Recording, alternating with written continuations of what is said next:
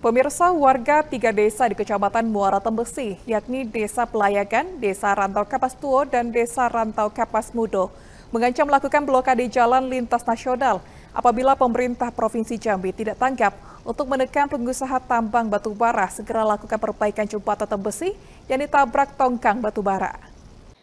Sejak satu pekan terakhir, warga pelayangan Kecamatan Muara Tembesi memblokade jalan lintasan tongkang batubara melintasi jembatan Muara Tembesi. Hal ini dampak dari kerusakan dan keretakan jembatan akibat tiga kali ditabrak tongkang batubara.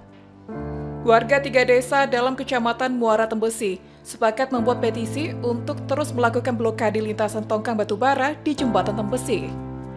Sebelum adanya perbaikan, menurutnya, situasi jembatan saat ini dalam keadaan darurat dan segera diperbaiki.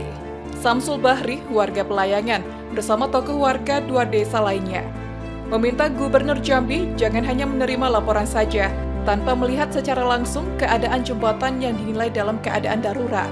Desa dan Kapas Tua dan Kapas Muda dan Desa Pelayangan sudah sepakat uh, bahwa ponton yang bermuatan sekarang ini kami tidak mengizinkan sesuai dengan petisi kami uh, ponton yang ada ini tidak bisa ke bawah, tidak bisa untuk melalui jembatan ini.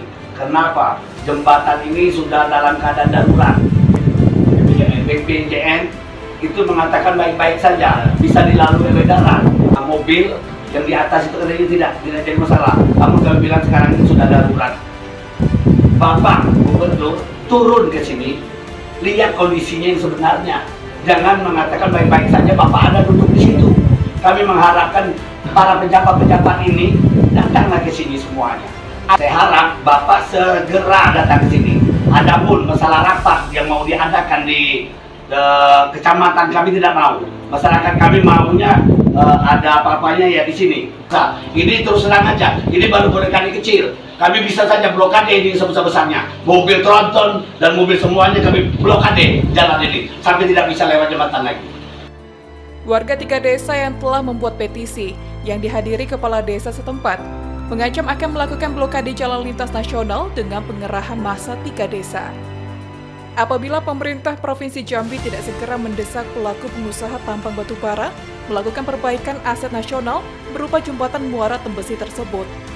Selamat Riyadi, Cek TV melaporkan.